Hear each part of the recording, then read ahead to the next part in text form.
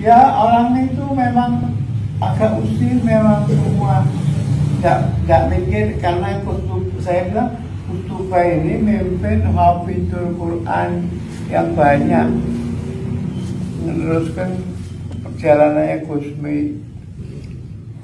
Kalau saya selama nium itu karena saya seneng saya tidak masuk ke dalam, saya Gustuba keluar, berarti Gustuba nah, masukkan hajat saya. Gustuba duduk di Pak Pentas, saya pengen duduk sama Gustuba waktu saya bisa duduk bareng. Mulai tadi malam itu anak saya ngomong jangan dilayani bu ya. Lalu saya biarin juga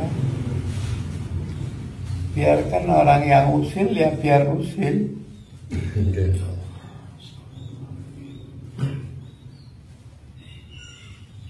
terus anu lagi Bu.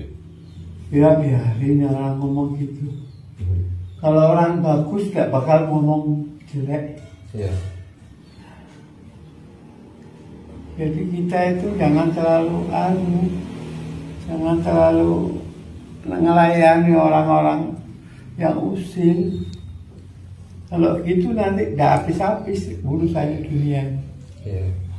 Ya memang pantas kalau dia memimpin semaan Quran itu pantas. Kalau saya selaman cuma nyium tangannya Gus Tuba ya pantas juga kalau menurut saya. Ya saya lihat Gus Tuba itu masih mulai masih anak-anak saya tahu keturunannya Kiai Halim, Siti, Ya Ahmad Ahmad. Kiai Ahmad Siddiq,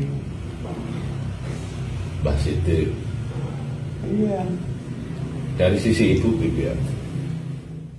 sudah tidak usah dianu saya tidak senang eh,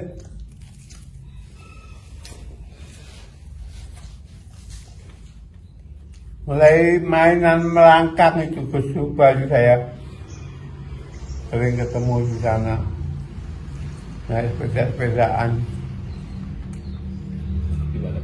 Ya memang biasa.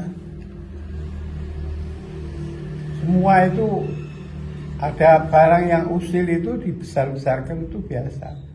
Di TV, di radio. Terima kasih sudah nonton. Jangan lupa like, subscribe, dan share ya.